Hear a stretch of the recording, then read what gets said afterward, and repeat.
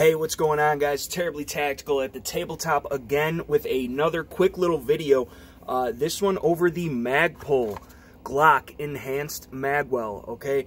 Um, recently picked this up and put it on the gun, and I'm really liking it, especially for the money. These things are super inexpensive. They, they're like 20 bucks and very functional. Very functional indeed. This one is for a Glock 17 Gen 4 and you can see all the other models that they make them for. I don't know if they're currently making them for the Gen 5s. There is the SKU and the part number and all that stuff. You know, simple little thing, real cheap, inexpensive thing, but it works, and that's what I like about it. Inside, you got your little manual, paperwork stuff, and that's it. So, simple little box, packaging, all that stuff. Get that out of the way, and uh, let's talk about it. So, I got it running on my Glock 17 and here's a look of it. So it does not add much to the gun, which I like a lot. It's not some big honking competition magwell that is going to, you know, preclude you from carrying it. You can still put this on your gun. It does not add basic. It's it, it's negligible. Um, you know what it adds to the gun as far as the width or uh, the length of the grip, and so you can still conceal carry. You know, you're 19, you're 17, whatever, um, but it is aiding you in reloading those mags. Um, obviously, purpose of a mag well. What I really like a lot is that it it covers up the little butt. You know, a lot of guys get those little butt plugs for their Glock and stuff, and that's great, but you might as well eh, just do this because not only does it cover that up, it also aids in reloading a mag. So it is flared and it is, you know, opened up a little bit.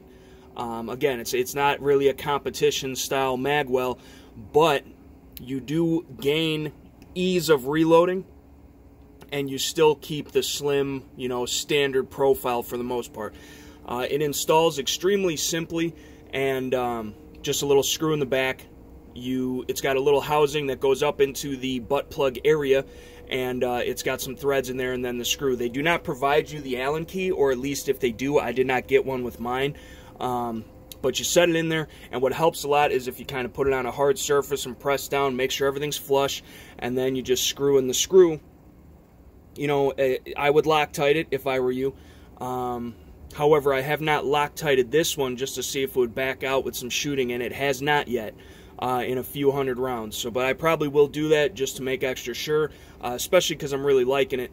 But yeah, I got it flushed up. It's in there nice and good and tight, and uh, it looks good on the gun. You know, it doesn't really add size or width, like I said, and uh, it adds a lot of functionality. So the biggest part is, is the little butt plug thing. That's a big uh, place where, you know, the opening of the rear of the Glock. Um, it, it does hang you up. You can really easily get hung up on a reload, you know, because it's open and it'll catch on that. Um, the magwell does work. It is nicely beveled, and uh, I did notice that you still can get hung up on it um, going in if you're too deep on this side. So you can get hung up right there. Uh, you'd have to be at a pretty awkward angle to, to get caught up in that. But if you hit it from the sides, um, from the back. I mean, you're just going straight in there, bumping the tripod here. Let's see if I can get it a better angle um, for that. But yeah, you're just in there, and then you're good to go. The other thing, too, is if you are running flush mags, like factory mags, um, they will still stick out a little bit. So that's fine but they're not going to stick out as much as they would if you were running like Taran Tactical base plates or like a plus two extension from Glock or whatever.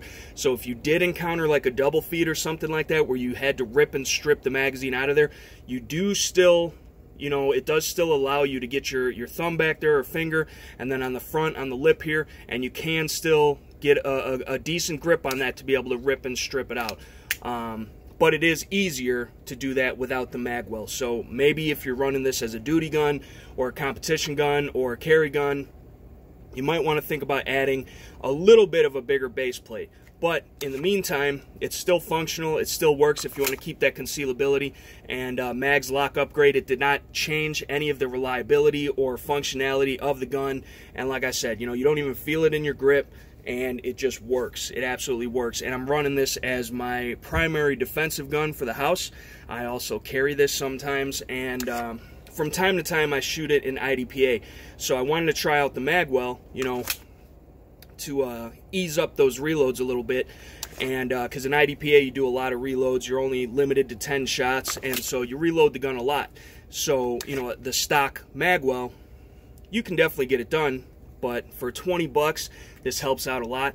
And just for regular, tactical, everyday defensive use, um, you know, fingers turn to flippers when adrenaline starts pumping, and uh, that kind of aids. You know, it, it, it keeps it simple um, when you're being stupid and it helps you, you know, make up for, you know, maybe fumbly bumbly reloads and stuff like that.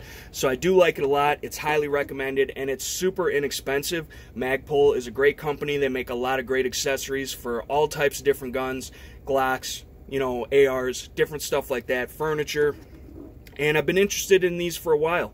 And I finally picked one up and I'm glad that I did. Again, super cheap, but super useful. So if you guys are running a Glock, you know, Gen 4 or previous, uh, they got something for you. And uh, try it out. Try it out, guys. It definitely works for me, and it's probably going to work for you. So that's the video, guys. Thank you so much for watching. Make sure you check the links in the description box below. Stay tuned for all the stuff we got coming up next. And like, share, comment, subscribe, people. We'll catch you later. Peace.